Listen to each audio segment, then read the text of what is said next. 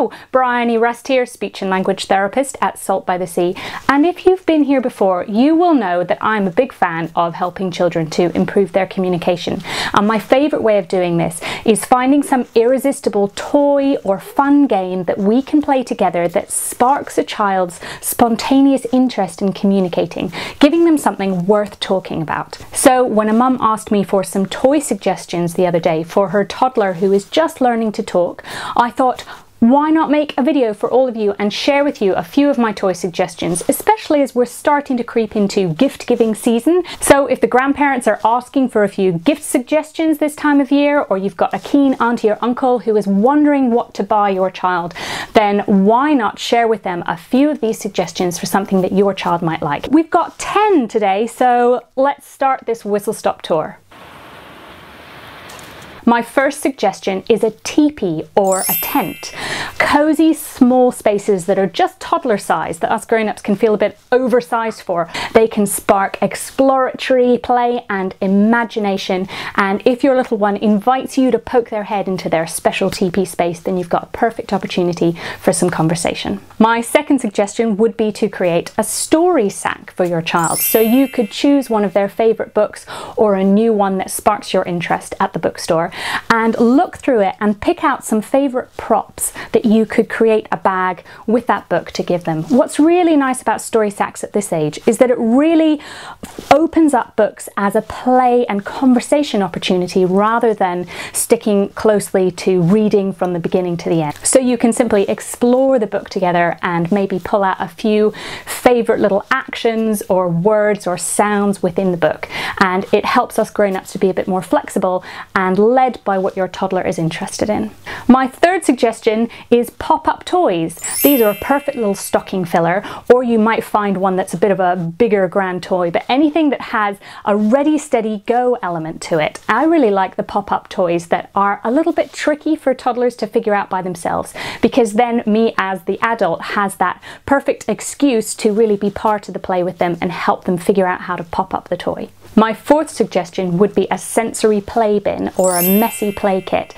This is another one of those gifts that you can have fun collecting and gathering together rather than buying straight off the shelf if you feel so inclined. So I would suggest finding a nice big sturdy tub or box and adding to this a few bags of different options of some fun exploratory things like coloured pasta or magic sand or sparkly confetti. And then you can add another bag of some favourite figures. Perhaps your child loves Peppa Pig or dinosaurs. So you're effectively giving your child a make your own explore kit.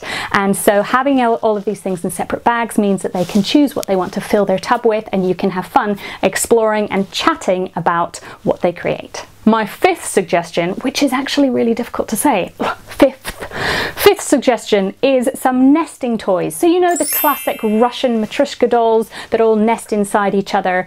I have learnt from lots of toddlers that these are actually a really fun flexible toy. Now when I approach this toy as a grown-up I consider it just as a straightforward puzzle. Find the smallest to the largest and fit them all neatly inside each other. But many toddlers over the years have taught me that there's a million different ways that you can play with these things and you've got the opportunity for some great language in talking about size difference as well. Tiny, huge, bigger, smaller, etc. You can also hide different bits and bobs inside each of the different dolls and so that can be a fun hide and seek game as well. Okay, we're halfway through our 10 toy list. How are you doing? Are you sticking with me?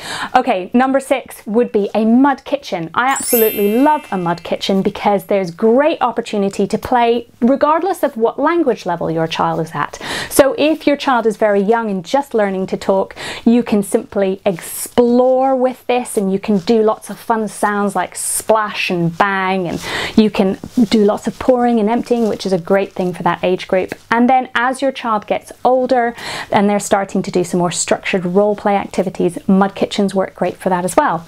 A mud kitchen has the added advantage of being outside where you have endless opportunities to model some really lovely language with all of the exciting things that are out in our natural environment where you can use lots of descriptive language and you can watch to see what your child is interested in.